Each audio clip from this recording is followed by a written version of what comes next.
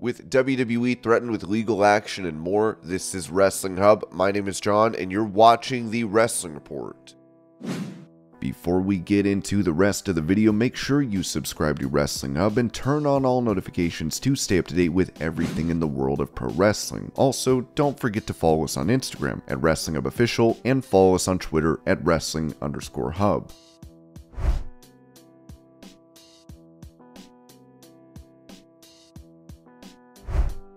Touching on the ending to the Blood and Guts match in 2021, where Chris Jericho fell off a cage and landed on a crash pad. Dax Harwood said on his FTR podcast, Yeah, that finish, the ending, how it went down, did kind of suck. It wasn't the fault of any of the performers. I just think that, again, this was during the pandemic era, so we were all working without a net on how to shoot things. Daily's place kind of made it a little difficult to shoot, but that's the cards we were dealt. First Blood and Guts match ever in AEW, and again, like I said, working on live live TV without a net. So the way it was shot is the reason that the fans soured on it. And again, I don't blame the cameraman or the directors, the producers, nobody knew. It was just those are the cards that we were dealt. So when I say that, it was the way it was shot. I don't mean that in a bad way. I just mean that we were all still in the process of learning how to deal with this pandemic era style of wrestling. I thought the idea for the finish was great. I thought that the execution going into it was done well. It's just the way it was shot probably could have been thought through a little bit more considering the small confines of the Daily's place.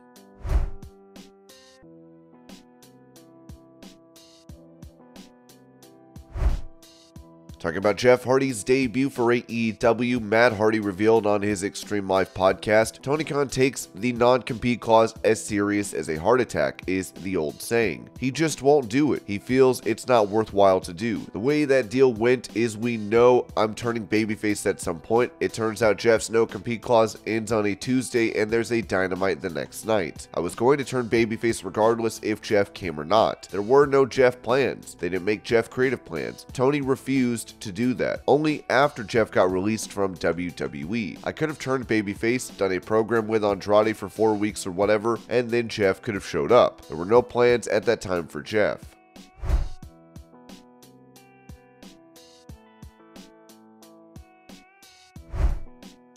Recalling an angle for Bret Hart that never came to be in WWE, former writer for the company Court Bauer told Talk is Jericho, the best idea that I pitched that didn't get used. There was a lot of circumstances that happened. Alright, what about the Hart family led by Bret versus the McMahon family? So we started looking at that and it's like, well, you've got Shane, Hunter, Stephanie, and then we were like, how do we fill this out with younger kids? Seeing as though it was going to be a brawl like match without in ring bumps, the writer had pitched Chris Jericho, Davey Boy Smith, Teddy Hart, and the unsigned Natalya and Tyson Kidd for Bret's team. While McMahon's faction was pitched Shawn Michaels, Paul London, Brian Kendrick, and Bryan Danielson. Bret ultimately said, yeah, no. I remember Vince saying, hold on, I'll call Bret and pitch it right now. This is surreal. Last I knew, Vince got punched out by Bret. So then you get to hear Vince pitch a top guy, and those conversations usually happen far away from everyone. Initially, Hart agreed, but then backed out within 40 48 hours. But from that came Natty being signed, TJ being signed, and a lot of other things that would lead to other great stuff, just not what we had hoped for.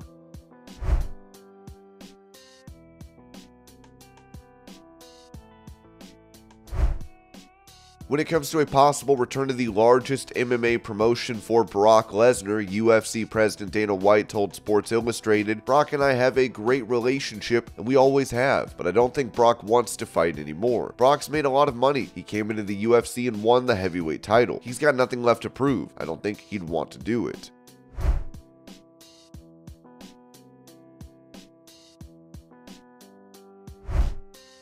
With it believed that Brock Lesnar turned down working with Bray Wyatt at WrestleMania, Dutch Mantell said this about it on Storytime. Brock don't want to mess with it. What if he beats him? I mean, what if Brock beats Bray Wyatt? Am I going to be mad? No. Is it going to help Brock? No. And you know Bray's not beating him because that's not happening, period. Because they know Brock. You know, when Brock brings a problem, it's not like, ah, well, he'll come around and do it. No, Brock won't come around. Brock's a multimillionaire. He'll just get up and walk out the door and keep going. So they just can't do anything they want to do with Brock because, you know, they have built their own, I don't know how to say it. They've built a monster in Brock because he don't need your money anymore. But he's damn sure not going to go into some that he views as a lesser angle with Bray Wyatt.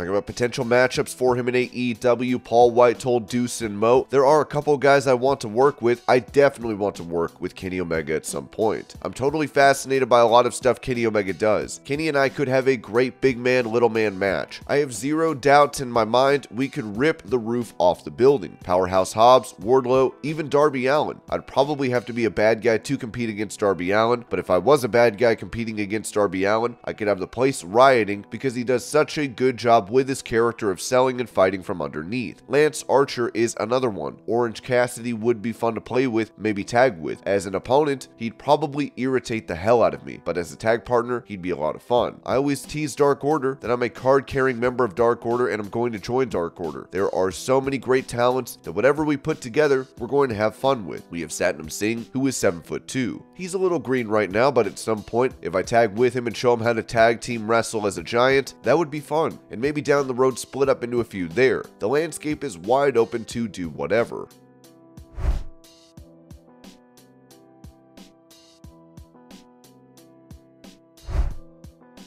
As Rey Mysterio is set to be inducted into the WWE Hall of Fame, Drew McIntyre paid tribute to the star at a recent live event. Here's the video. I'm lucky enough to be around this man for 15 years. Legend doesn't cut it. He could have been in the Hall of Fame five times over. He keeps younger. The more I get older, he wouldn't tell me where the fountain of youth is. Look at the man. He gets better and younger every single year.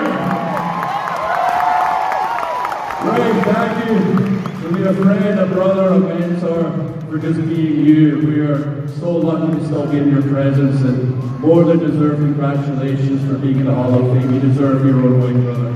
Thank you.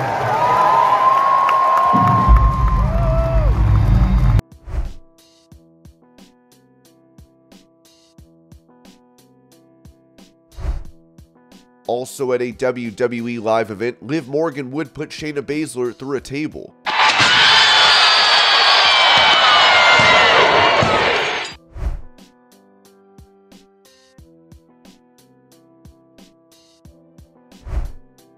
With WWE referring to Liv Morgan as the Queen of Extreme. The one who originally used that nickname, ECW legend Francine, responded to WWE and threatened legal action, saying on her YouTube channel, I mean, they've called her Queen of Extreme before Liv Morgan. We've talked about the Queen of Extreme Liv Morgan tried to use it too. And you know, I filed to trademark that. I don't know, it's been maybe six months too close to a year now that I'm waiting for because it takes some time to go through. You can't just do it and then tomorrow you have it done. It's a big process. It takes time. And I mean, I've been using it now. It's over 25 years going on 30 years. I appreciate the love. Please don't get me wrong, but so many people were just like, hey, did you hear Corey Graves said this? And I'm just like, okay, first of all, I'm never mad. I wouldn't be mad at Amy or Lita. I wouldn't be mad at her. You know, she's not going around saying it, finding her niche. Well, maybe she is. I don't know. Not that I know of. But my concern over this whole thing is I don't want them to try and trademark it and then tell me you can't use it anymore because I've been using it for almost three decades. And that's what, like, some people don't understand. Like, one guy was like, oh, get over it. You're not relevant anymore. You passed the torch or whatever. And I was just like, that's not the point. She doesn't need the torch passed to her. She's a star. She's a star in herself. She doesn't need me to help her. My thing is what people don't understand is when you establish a character and a gimmick and a name and you use that for years and years and years and years, you don't pass that name on to somebody, you know? It's not like I'm doing every indie show that I can working ringside, you know, at 51 years old, saying I can hang with the younger talent. No, that's not what I'm trying to do. Like, I'm just trying to hold on to my legacy in this business, and that is the name that I have used. That is the name that people know me by. So why would I just give it away and let other people use it? And people don't understand. It's not that I don't want to pass the torch or share knowledge. I know my time in the ring is over. Now, if I'm used for anything, I'm not trying to make that big comeback. I've said this a million times. You don't see me in the ring every weekend. That's not my deal. That's not what I'm trying to do. What I will fight for is that name because I've worked hard and I've used it for so many years. So I finally said, okay, we're going to do a trademark on it. And you know, Stephen P. New was nice enough to put the trademark in for me. And now we are waiting to make it finalized. I didn't get a lot of hate on it. I got a lot of positivity. But I just hope that people aren't looking at me saying, oh my God, get over it. You're so old or your time has passed. It's not about me trying to stay relevant. It's just about what I've worked hard for. And I feel like I've earned that name. And I've used it for so long. It would be weird if I can't use it anymore. And for them to take it away from me because they can't take my name. I said this before, like in my contract when I worked there, Francine was borrowed because it's my birth name. So they can't tell me not to use that name because I was born with it, right? But for them to turn around and say, well, you can't be known as the Queen of Extreme anymore, that would be horrible. Whether I'm in this business another day or another 30 years from now. If I do conventions, I'm going to sign the Queen of Extreme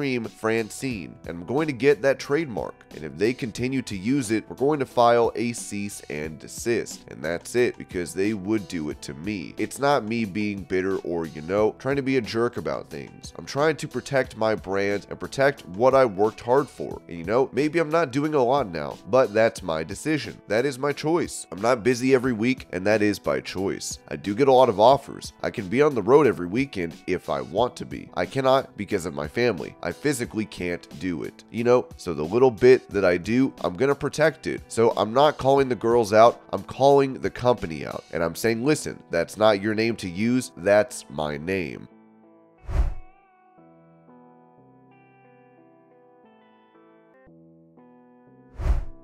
Taking to Twitter, a fan would accuse a WWE star of liking a transphobic post as it reads, Valentina Feroz liked a video of a politician making fun of trans women and saying men who want to be women are taking the place of real women. My friend confronted her, and this was her response. She then unliked the post and blocked my friend afterwards. Valentina responded writing, I'm here to apologize for what happened on my Instagram. I support and protect trans rights. I support, respect, love, and peace. Love always overcomes hate and prejudice. And this was your pro wrestling news update. I hope you're all having a great day. Thank you so much for watching, and I'll see y'all later.